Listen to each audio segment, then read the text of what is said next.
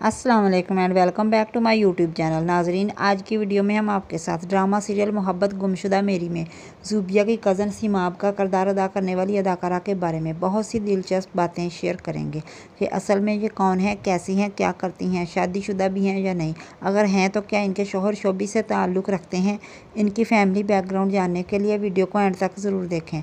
मगर इससे पहले अगर आप हमारे चैनल पर न्यू हैं तो चैनल को सब्सक्राइब कर लें और साथ में दिए गए बेल आइकन को भी प्रेस कर दें, ताकि मेरी तमाम आने वाली वीडियोस का नोटिफिकेशन आप तक पहुँच सके।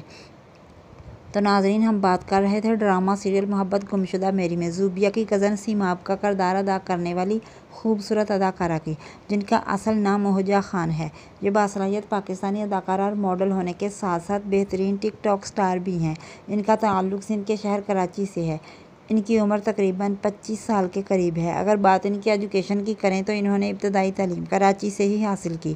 दिलकश चेहरे और खूबसूरत आँखों वाली इस अदाकारा की आइज़ का कलर ब्लैक, जबकि हेयर्स का कलर भी ब्लैक है। अगर बात इनकी हाइट की करें तो इनकी हाइट पाँच फिट तीन इंचज़ है। इनका वेट तकरीबन फिफ्टी के जी है और इन, इनका फेवरेट कलर ब्लू और फेवरेट डेस्टिनेशन पाकिस्तान है। इनकी हॉबी शॉपिंग करना और ट्रैवल करना है। असल ज़िंदगी में ये अब तक सिंगल हैं। इनकी शादी अभी नहीं हुई। अगर बात इनकी फैमिली की करें तो इनकी फैमिली में से किसी का ताल्लुक भी शोबिस से नहीं है।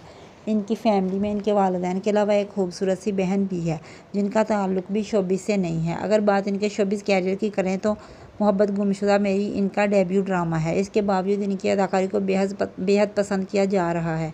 तो नाजरीन, आपको अदाकारा मोहजा खान के बारे में जानकर कैसा लगा? अपनी राय का इजहार कमेंट्स में ज़रूर करें। अगर वीडियो अच्छी लगे तो वीडियो को लाइक, चैनल को सब्सक्राइब ज़रूर